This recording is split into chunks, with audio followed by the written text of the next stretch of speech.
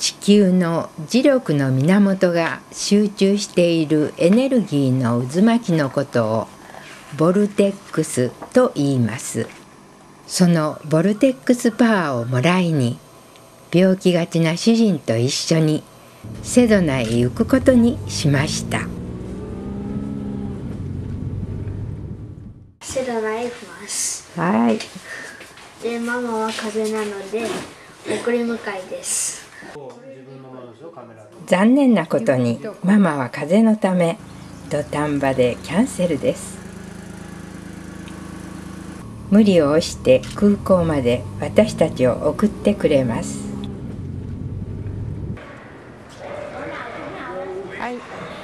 カリフォルニア・アーバインからセドナ近くの空港まで飛行機を乗り継ぎここからはレンタカーです。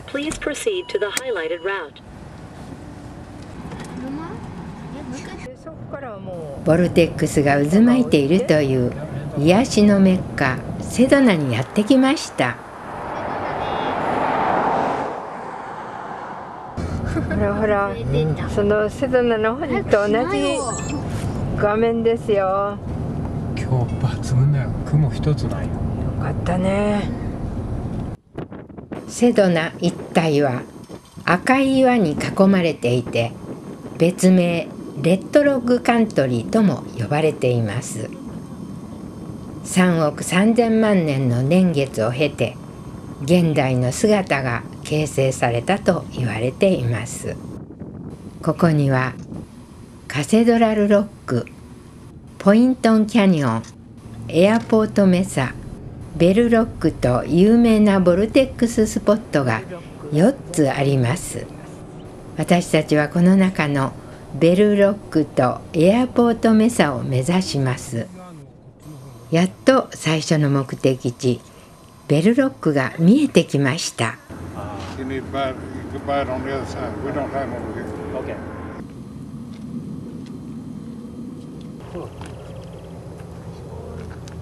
ベルロックに登ります。これから。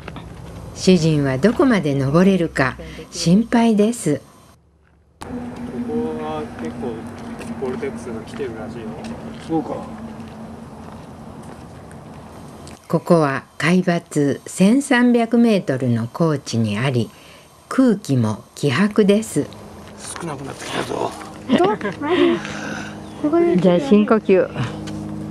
ボルテックスを感じてください。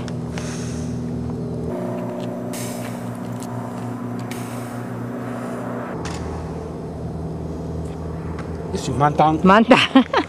じいちゃん本当パワーあるよ。うん。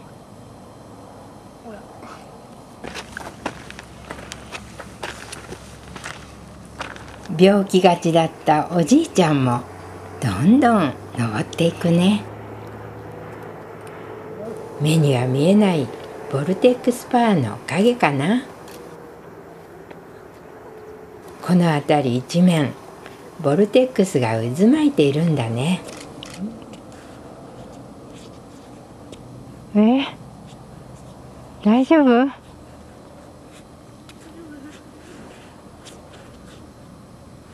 すいませ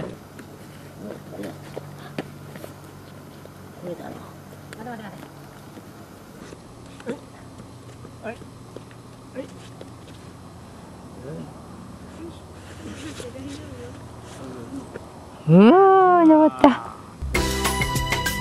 見渡すとかなり登ったなと実感できます。心が癒され和みます。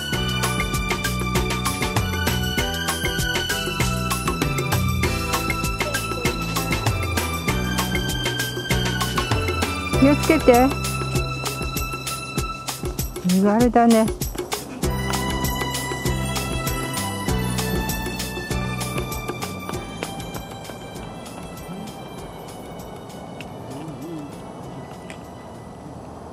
あと1号目1号だったけどまあ諦めざるを得なかっそうで砂走りっていうとこから。今度は降りるのはものの10分もしたら下降りてんだもんね。たここでこうでこうなんだけど下りの難所うまく降りれるかな？頑張って。ここにそれでこっちの足をここにで,、そこここはい、でここ。ねでここ。に来てここに足。足でそしてこことかここここ。あそこいいね。それででなんとかここに。下降にりるときしゃがんでそうしゃがんでそして足を片なんとか足を片方下に。そうそうそうそう。はいはいはいはいはいはい。ついたついたオッケオーッケー。お母ちゃんはいエネルギーをもらったから登れたね。だって少しも疲れなかったのは。不思議な気がしています。到着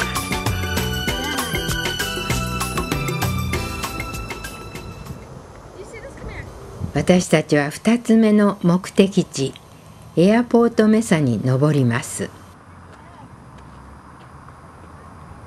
エアポートメサはベルロックと並んでボルテックスエネルギーの強い場所でもあり夕日の美しさでも有名です。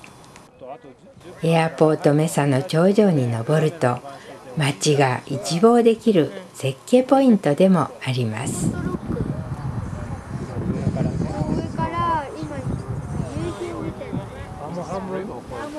半分いった。え本当？うん。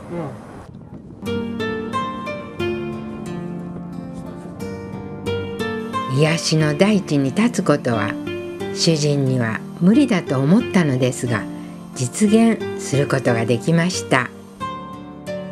不思議なパワーに身も心も現れ私たちは年に似合わず若くなった気分で感動しています。こんな素晴らしいところに連れてきてくれてありがとう。